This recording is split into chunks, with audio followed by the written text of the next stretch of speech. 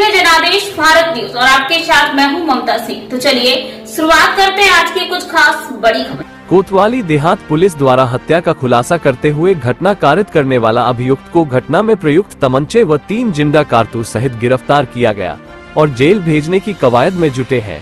दरअसल आपको बता दें 19 दिसंबर 2022 को सोनवीर निवासी ग्राम विश्नोईवाला थाना कोतवाली देहात द्वारा थाना पर तहरीर देकर बताया गया था कि उसके पिता नरेंद्र सिंह जो वन विभाग उत्तराखंड में स्कैलर के पद पर कार्यरत थे, वो खेत में पानी देने के लिए गए थे, वहीं किसी ने गोली मारकर उनकी हत्या कर दी। तहरीर के आधार पर थाना पर संबंधित धाराओं में मुकदमा दर्ज किया गया।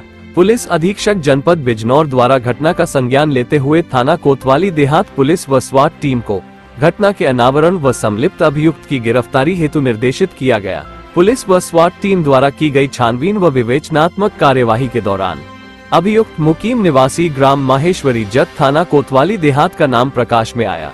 आज थाना कोतवाली देहात पुलिस उपरोक्त अभियोग में प्रकाश में आए अभियुक्त मुकीम उपरोक्त को गिरफ़्तार किया गया। अभियुक्त की निशादेही पर घटना में प्रयुक्त शून्य एक तमचा 315 बोर व शून्य तीन ज़िंदा कारतूस बरामद किया गया। Bite Shriram ours. एसपी ग्रामीण बिजनौर, आप देख रहे हैं हमारे सहयोगी संवाददाता नीरज पाल की यह लेटेस्ट खबर जनादेश भारत न्यूज़ चैनल पर। हमसे जुड़ने के लिए चैनल को सब्सक्राइब कीजिए, वीडियो को शेयर और लाइक कीजिए। धन्यवाद, नमस्कार, देखते रहे खबर जनादेश भारत न्यूज़ पर।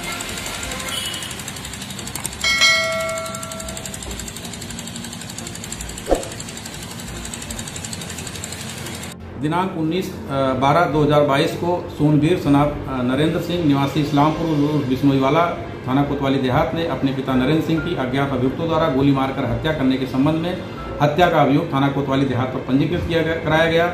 इस घटना के अनावरण के लिए टीमें गठित की गई। गठित टीमों द्वारा विवेचनात्मक कार्रवाई से तीन अभियुक्तों की संलिप्तता प्रकाश में लाई गई। इसमें मुकीम पुत्र मोबीन, रईस उर्फ़ काले निवासी महेश्वरी जट व आमिर सनात मसीता, निवासी बिश्नोईवाला, थाना कोतवाली देहात का नाम प्रकाश में आया। प्रकाश में आए अभियुक्त मुकीम पुत्र मुबीन को दिनांक पाँच सात दो हज़ार तेईस को गिरफ़्तार किया गया। गिरफ़्तार अभियुक्त से घटना में प्रयुक्त असलाहा एवं कारतूस हाथ बरामद हुआ। गिरफ़्तार अभियुक्त मुकीम ने पूछताछ में बताया कि उसके पिता व नरेंद्र का मृतक नरेंद्र का पैसों का लेन देन था वह मृतक नरेंद्र द्वारा उसकी बहन व उसके साथी रईस उर्फ़ काले की बहन से फ़ोन पर वार्ता करता था, जिसको लेकर के परिवार के लोग जो है, मृतक नरेंद्र से रंजिश रखते थे। इसी कारण दिनांक 18 बारह 2023 को योजनाबद्ध तरीके से हम लोगों ने मृतक को उसके खेत से जहाँ वो पानी लगा रहा था, बहला फुसला करके और उसको पास के गन्ने के खेत में ले गए और वहीं पर गोली मारकर इसकी हत्या कर दी गई। हत्या करके ये फरार हो गए। गिरफ़्तार अभियुक्त मुकीम पुत्र मोबिन को माननीय न्यायालय के समक्ष पेश किया जा रहा है। शेष अभियुक्तों की गिरफ्तारी के लिए टीम गठित की गई है। शीघ्र ही गिरफ्तारी करके इसमें अग्रिम कार्रवाई पूर्ण की जाएगी।